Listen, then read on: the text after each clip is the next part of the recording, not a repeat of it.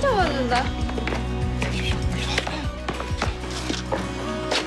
야, 먼저 올라가 있어. 어, 가 있어라, 가 있어. 아이고로. 윤승찬, 디우야 너왜 아버지? 내 들켰나? 아 망했다. 씨. 내 이제 학교 못 댕긴다. 회사에서 장학금 지원해 주시는 일 때문에 오신 거란다 씨. 아야. 아 씨.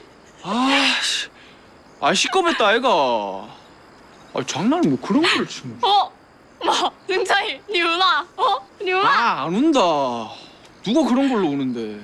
승찬이 이제 걱정하지 말고 빨리 들어가지고 공부나 해라 알았지? 씨. 내가 간디.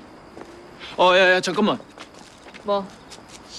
그 야, 산책할 겸 내 저까지 데빌라 줄게. 날씨도 선선하게 좋네. 가자. 그래라. 그럼. 야, 니 내랑 영화 한 편 볼래?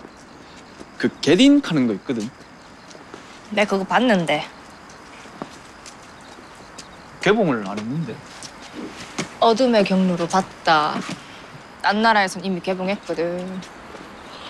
아, 니 영화 좋아하는 갑네. 내는 이 춤, 춤추는 거 좋아하는데. 근데 야, 니는 그 졸업하면은 바로 취업할 거가? 아니? 그럼 왜? 아, 아 아니 그, 니 공부도 잘하고 똑똑한 아가 왜 여상을 갔나 싶어가지고. 내신 딸라고 일부러 온 거다. 인서울 대학 갈라고. 아 맞나? 아 그럴 줄 알았다. 나도 대학교 갈 건데 인, 인서울로. 글라. 야, 너가 아버지도 요새 좀 늦게 들어오시지? 아, 그 구조조정 때문에. 아, 우리 아버지가 사무직들 엄청 할 일 많아졌다고 그러시더라.